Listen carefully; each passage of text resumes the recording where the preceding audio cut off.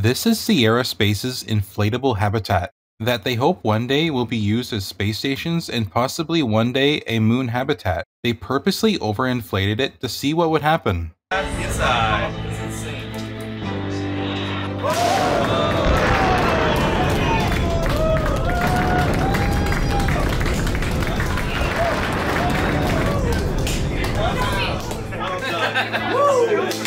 These mice were sent to the International Space Station on board SpaceX's Dragon capsule. After a few days, they learned how to move around in zero gravity, and they seemed to really enjoy it. They would spend most of their time just running around the cage. NASA called this race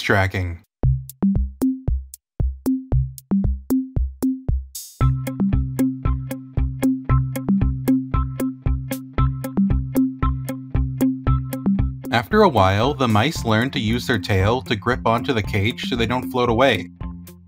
Check out this video of SpaceX testing their Raptor engine. A Raptor engine can reach temperatures of over 3000 degrees.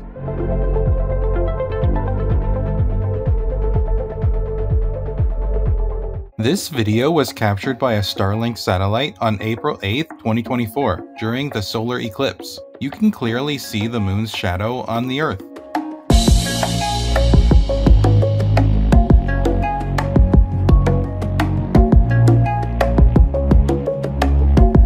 In 2016, NASA managed to capture this amazing video from the surface of a comet. This short video was captured on the surface of an actual comet.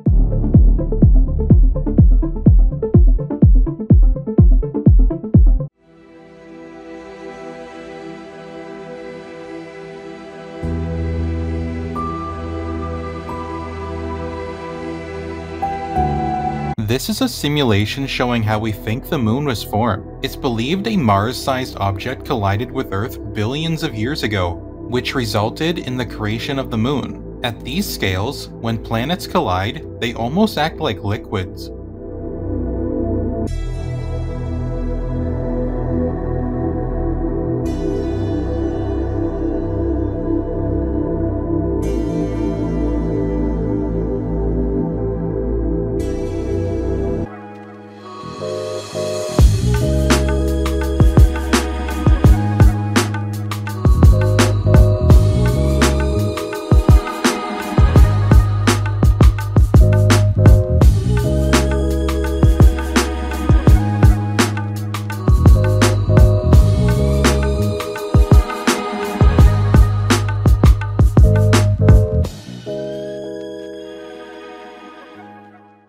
Well, that's all for today, but before you go, I just want to say thank you all so much for watching my videos, and I hope you have a great weekend. Bye for now.